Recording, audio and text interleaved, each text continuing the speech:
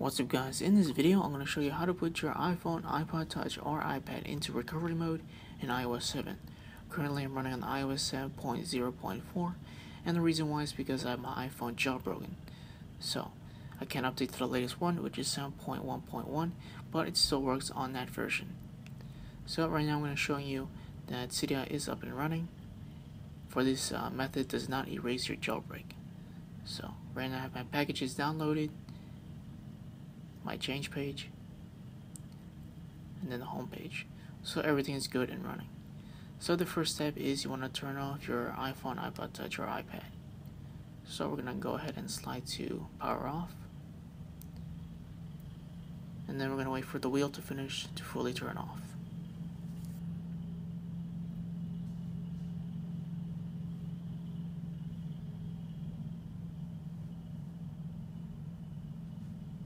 Alright, while we're waiting, you want to make sure that the other end of the sync cable is connected to a computer.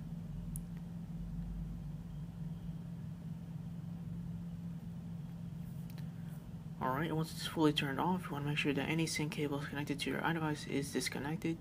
For the next, it requires you to hold down the home button, connect the sync cable, and still hold on to the home button until you get the screen. Like so. So keep holding onto the home button until you see the connect to iTunes screen. And that's how you put your iDevice into recovery mode. Now in case you want to take it off from recovery mode, all you do is hold down the power button and the home button up until you see the Apple logo. So let's do that right now.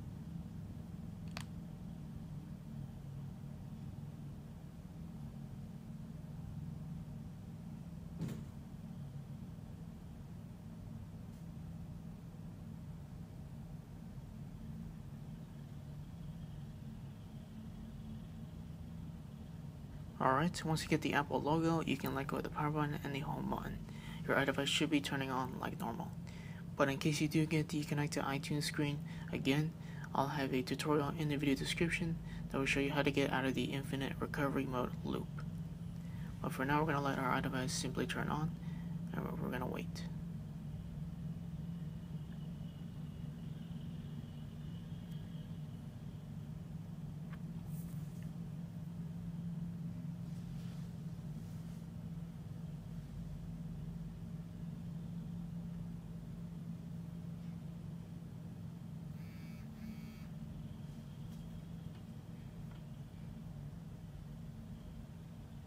Alright, so now we're gonna slide to unlock, and there you have it. That's how you take your iDevice out of recovery mode.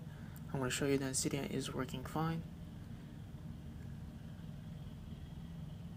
Alright, and that's pretty much it. So in case you do get that connect to iTunes screen, like I said, I'll have a video tutorial in the video description.